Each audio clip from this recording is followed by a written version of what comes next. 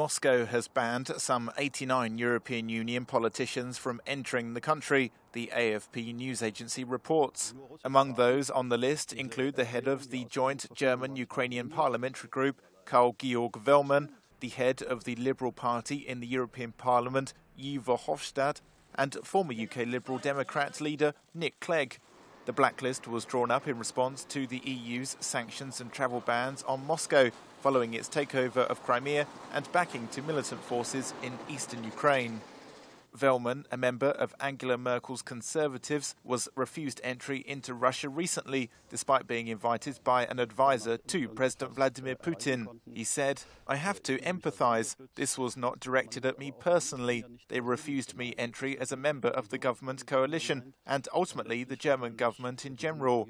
The parliament as a whole is challenged, so this is a very grave course of events.